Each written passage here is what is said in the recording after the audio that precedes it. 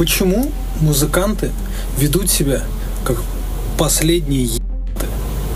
Что это за гильдия эгоизма и обиженности в одном флаконе? Что это, что это за вечное? Я бы тебя бы там поправил бы барабаны, ты их слегка не, за, не доработал.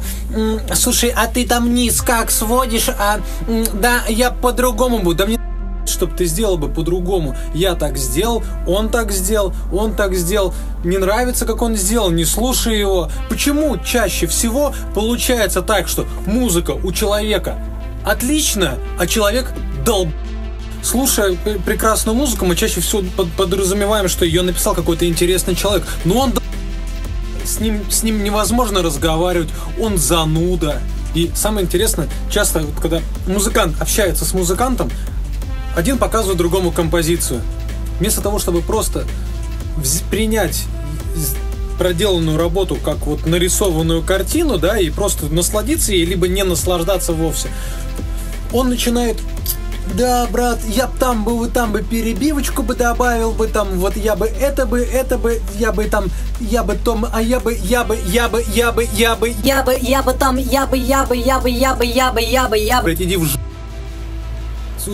Вместо того, чтобы заниматься своим, следить за собой, мы я бы, я бы, я бы, я бы, я бы, я бы, я бы, я бы, я бы, да, как бы мы я бы, я бы, я бы, я бы, я бы, и в итоге мы сами себя не представляем.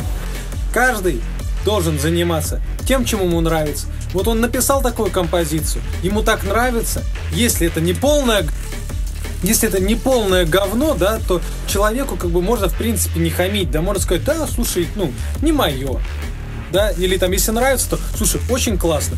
А что бы я бы там бы там сделал бы, если тебя не спрашивают, то и не надо ничего говорить.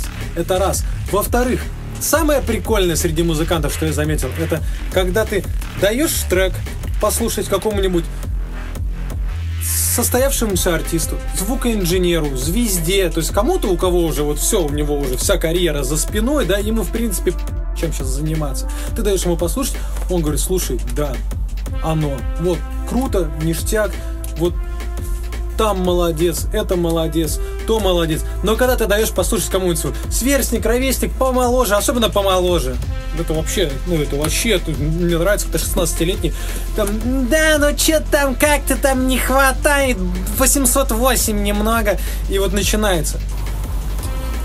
Очень интересный момент. Люди с опытом говорят, что это оно, что все хорошо, а люди э, без опыта почему-то считают, что это, ну это так, ну слабенько что-то как-то, я бы там бочечку бы поменял бы. Попробуйте покритиковать друга музыканта. Вот когда друг музыкант шлет вам свою музыку, он хочет услышать «Братан, блин, просто душу разрывает! Вот это трекан!» Не дай бог вы ему скажете, что там что-то не так. Не дай бог.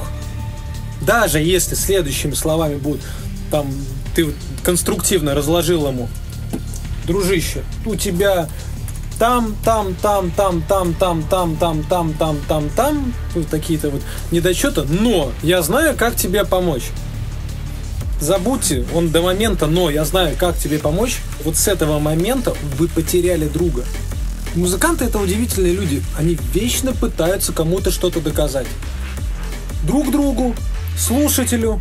Я ценю творчество многих людей, но когда мне говорят, что вот это вот...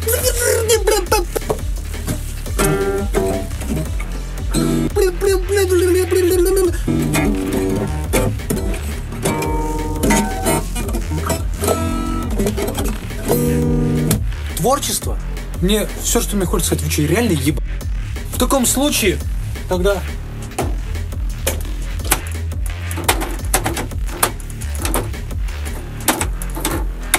Это тоже творчество. Музыкант — это крайне эгоистично, духовно, творческая, утонченная личность. Чего не хватает, так это просто вот капли уважения. Вот она композиция. Ты ее либо слушаешь, либо не слушаешь. Нравится? Супер. Не нравится? Извини, братан. Ну, значит, не твое. А вот это вот, что мне не нравится, что ты делаешь, почему ты не пишешь вот это вот, э, как бы, ну, я не знаю, а что ты не пишешь вот это вот, а что ты, а что ты, не знаю, а что ты, а что ты не стриптизер вообще? Мне кажется, с твоими мозгами тебе лучше быть стриптизером, чем музыкантом. Вот просто прикол. Музыкант пишет у себя на стене. Я открываю лейбл, там туда-сюда, бла-бла-бла. За информацией там, по поддержке моего лейбла пишите в личку. Я пишу человеку. Я говорю, привет, вот послушай мой трек. Тебе нужны еще работы в таком стиле? Э, барабаны недоделаны, идея хорошая, но что-то не хватает. То есть вот человеку дают возможность что-то сказать, и первое, что он делает, он начинает мериться с тобой пипиской. То есть он уже как бы выше тебя, потому что ты ему пишешь, не он пишет тебе. Он уже выше тебя, все, и вот у него эта, эта возможность. Он же, я, я лейбл сделал. А я тебе демо присылаю. Ну, только ты, твои, твои демо говно. Я бы, я бы их на твоем месте бы доделал бы, да? Как только один пишет другому, обращаясь за советом, так все. Это тот, кому написали. Да, говнецо ты какой-то тут нас водил. И ты стоишь такой и думаешь, нахер я ему вообще писал? А еще прикольнее это когда кто-то кого-то копирует, и когда ты мне спрашиваешь, ребята, что за стиль? Ну это у нас такое, короче, там Art Fusion, ну короче, это свое, это свое.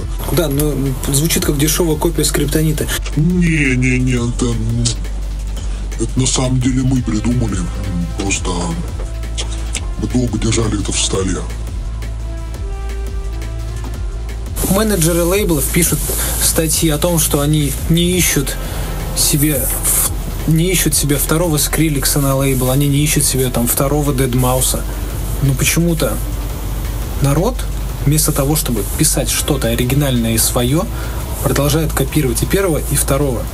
Самое печальное это то, что у некоторых музыкантов больше слов о своей музыке, чем самой музыки вообще. То есть она у меня вот такая вот, вот она там у меня на космос дип, э, там вот такая вот, она для того, чтобы она у меня для того, чтобы там, ну, моя музыка, она такая раскрывает сознание и прочее. Когда ты не говори об этом, вместо того, чтобы говорить о себе, просто сядь, напиши что-нибудь, чтобы просто вскрывало.